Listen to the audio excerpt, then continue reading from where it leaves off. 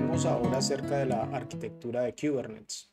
Kubernetes es un, eh, un software bastante complejo. De hecho, se conoce en el mundo del IT, de las tecnologías de la información, se conoce como el sistema operativo de los data centers.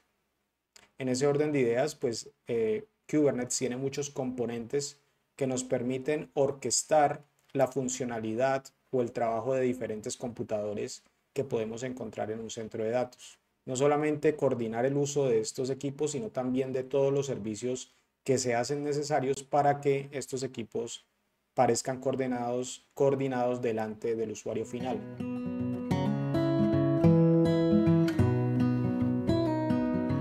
Dentro de la arquitectura de Kubernetes podemos encontrar dos tipos de nodos, el master y el nodo.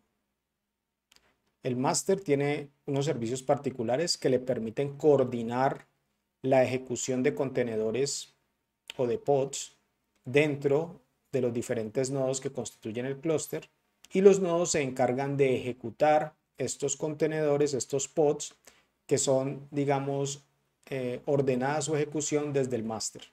Vamos a ver a continuación cada uno de los elementos que constituye o cada uno de los servicios que constituye cada uno de estos nodos.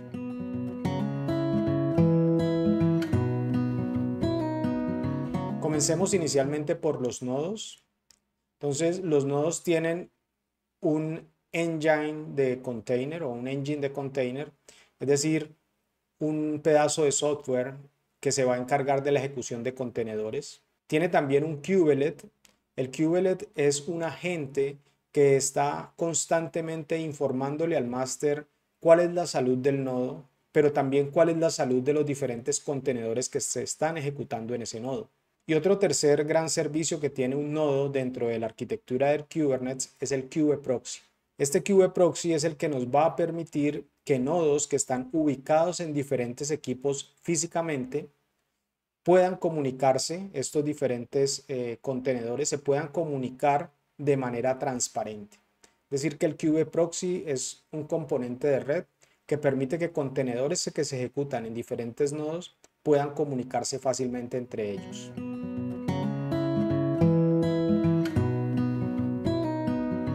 De otro lado tenemos al master, también conocido como el control plane. Este control plane se va a encargar de orquestar la ejecución de los diferentes contenedores, de los diferentes pods en los nodos que constituyen un clúster de Kubernetes. Un primer elemento de este control plane es el API server. La forma como los clientes se comunican con el clúster de Kubernetes es a través de un servidor eh, de API. Eso lo que quiere decir es que el cliente emite peticiones a un API, a un API server, y este API server interpreta esas peticiones y las ejecuta dentro del clúster de Kubernetes. Tenemos otros servicios dentro de Kubernetes que, o del master de Kubernetes que son, digamos, los fundamentales.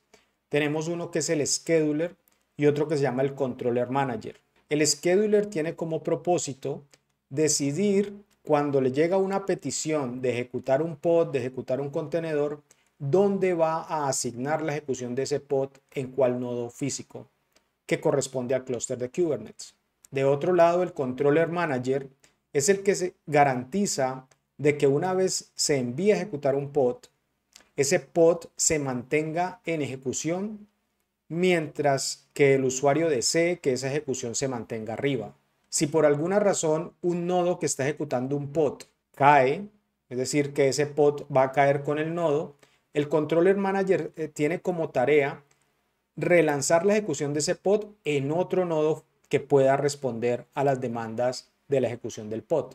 Por otro lado, entonces tenemos al etcd, que es una base de datos llave valor, que es una base de datos también que tiene características de soportar eh, instancias distribuidas, es decir, etcd no es una base de datos centralizada necesariamente, yo la puedo tener distribuida y en esta base de datos yo tengo una instantánea de todos los servicios, de todos los pods, de todos los objetos de Kubernetes que están corriendo en un momento determinado. Esta base de datos entonces es muy importante porque ella es la que me dice cuál es el estado de Kubernetes en un momento determinado.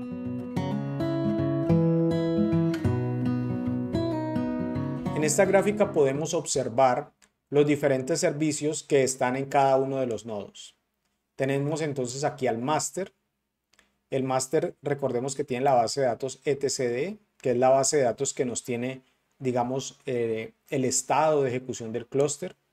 Tenemos el controller manager, que es el que me, me valida y me asegura que cuando a mí me mandan a lanzar o cuando me piden lanzar una serie de pods, esos pods estén arriba.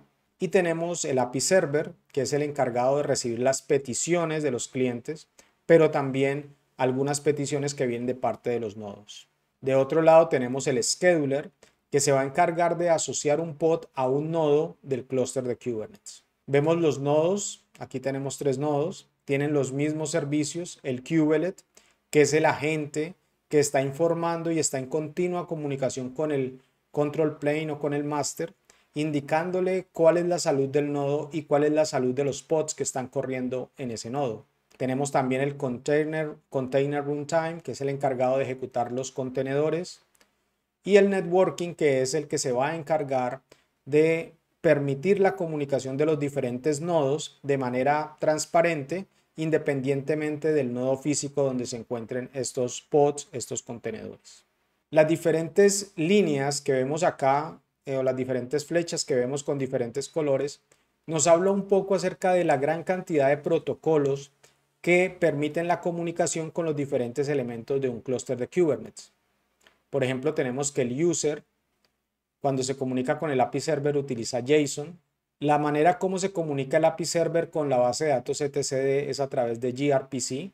Protobuf, que es otro protocolo que nos permite, digamos, eh, mandar binarios a través de la red de una forma más eficiente que otros eh, formatos de, de, representar la información como XML o JSON. Protobuf es un formato binario. Nos permite comunicar lo que tiene que ver el control manager con el API server, el API server con el scheduler, el kubelet con el API server. Tenemos eh, otras interfaces, eh, digamos, nuestro ambiente de, de Kubernetes no está atado a una tecnología en particular. Entonces, por eso tenemos estos estándares OSI, CRI, CNI. El OSI lo que nos va a permitir es tener diferentes tecnologías de contenedores, las que nos van a permitir ejecutar los containers que están dentro de un pod. Tenemos también una interfaz que es la Container Network Interface, que es la que nos va a permitir tener diferentes tecnologías de redes que nos van a permitir la comunicación entre diferentes pods sobre diferentes nodos. Y tenemos el CRI, que es el que nos va a permitir esa comunicación transparente entre el agente, de, mm, agente kubelet, que es el que reporta el estado del nodo, reporta el estado de los nodos al API server, con el runtime de Kubernetes.